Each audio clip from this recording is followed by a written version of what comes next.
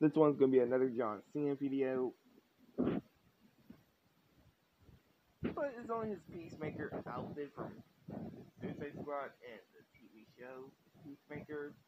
And yeah, all of this like, comment, subscribe.